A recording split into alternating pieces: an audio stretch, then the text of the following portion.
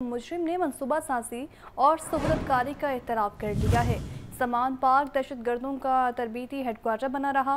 वज़ीर अला पंजाब मरीम नवाज़ का कहना है कि जमात नहीं इंतशारी टोला है, जिसका मकसद रियासत को नुकसान पहुँचाना है। कोर कमांडर्स हाउस चलाई गई और शहदा की यादगारों की तोहन की गई। तो आपको बता रहे हैं कि वजी अला पंजाब मरीम नवाज़ की जानब से कहा गया है कि जमात नहीं इंतशारी टोला है। मजीद क्या कहा है, बताएँगे ब्यूरो चीफ हसन रजा। जी हसन। देखिए, वज़ीर अला ऑफ़िस की जानब से जारी करदा इलामिया के मुताबिक वज़ीर अला पंजाब मरीम नवाज़ शरीफ ने एक बयान जारी किया, जिसमें कहा कि बिलाखर नौ मई के मास्टर माइंड ने मनसूबा बंदी का एतराफ़ गुनाह कर लिया है।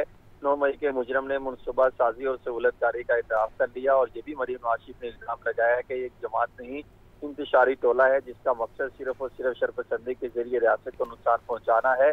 मरीन नवाज़ का ये भी कहना था कि जमान पाक दहशत गर्दों का तरबीती हेडक्वार्टर बना रहा पेट्रोल बम बनाने और रियासत पर हमले की तरबियत दी जाती रही।